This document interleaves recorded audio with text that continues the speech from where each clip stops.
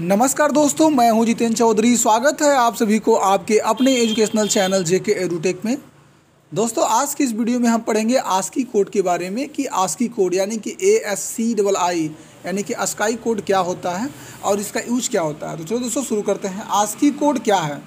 ASCII का पूरा नाम, यानी ए एस सी आई का आई का पूरा नाम होता है American standard code for information interchange यानी अस्काई का पूरा फुल फॉर्म होता है, यानी पूरा नाम होता है American standard code for information interchange. हम कंप्यूटर पर जो कुछ भी लिखते हैं, वो आस्की में ही लिखा होता है। प्रत्येक कंप्यूटर प्रयोगकर्ता अंकों, अक्षरों तथा संकेतों के लिए बाइनरी सिस्टम पर आधारित कोड का निर्माण करके कंप्यूटर को परिचालित कर सकता है। लेकिन उसके कोड केवल उसी के द्वारा प्रोग्रामों और आदेशों के लिए लागू होंगे।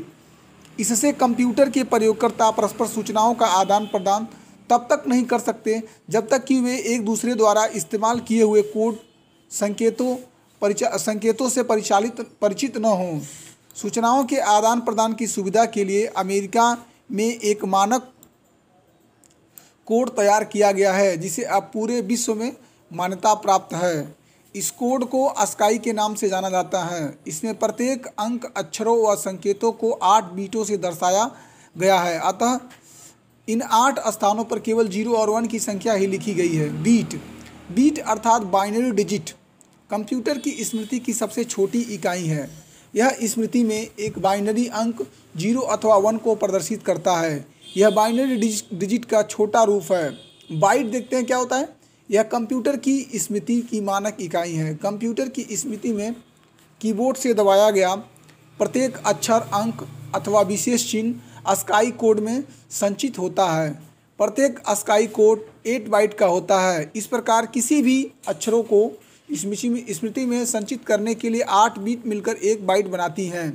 कैरेक्टर, संख्याओं के अलावा वह संकेत जो भाषा और अर्थ बताने के काम आते हैं। उदाहरण के लिए ए बी ए टू लेके ए टू से जेड या ए ज़ीरो से लेके नाइन या कुछ स्पेशल कैरेक्टर ये सब जो है कैरेक्टर कहलाते हैं। आस्की में ऐसे दो सौ छप्पन कोड हैं। मानक आस्की कोड का मान ज़ीरो से एक सौ सत्ताईस के बीच में होता है, जबकि एक सौ अट्ठाईस से दो सौ छप्पन तक कैरेक्टर परिवर्धित, यानी कि एक्सटेंडेड आस्की कैरेक्टर सेट होते हैं। कंप्यूटर साम सिस्टम सामान्यतः कैरेक्टर को संचित करने के लिए अस्काई कोड का उपयोग करते हैं। प्रत्येक कैरेक्टर एट बिट्स का उपयोग करके संचित होता है। तो आई होप दोस्तों ये वीडियो आपको ज़रूर पसंद होगा। अगर ये वीडियो आपको पसंद आए तो प्लीज़ हमारे चैनल जे के को सब्सक्राइब करना ना भूलें और साथ में बेल आइकन को भी प्रेस कीजिए ताकि जब भी जे के की तरफ़ से जब भी कोई नई वीडियो अपलोड हो तो उसका नोटिफिकेशन सबसे पहले आपको मिलता रहे। वीडियो को लाइक कीजिए शेयर कीजिए। वीडियो देखने के लिए आपका बहुत बहुत धन्यवाद।